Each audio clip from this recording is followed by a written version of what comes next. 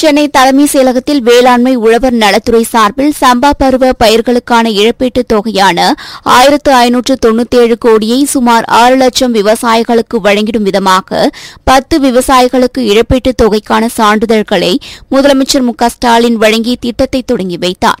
இந்நிகழ்ச்சியில் தலைமை செயலாளர் முனைவர் இறையன்பு மற்றும் பயிர் காப்பீட்டு நிறுவனங்களின் உயர் அலுவலர்கள் கலந்து கொண்டனர்.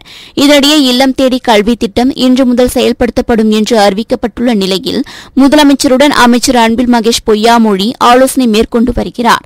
சென்னை தலைமை செயலகத்தில் நடைபெற்று வரும் ஆலோசனையில் பள்ளிக் கல்வித்துறை செயலாளர் காக்கர்லா உஷா ஆணையர் நந்தகுமார் உள்ளிட்டோர் பங்கேற்றுள்ளனர்.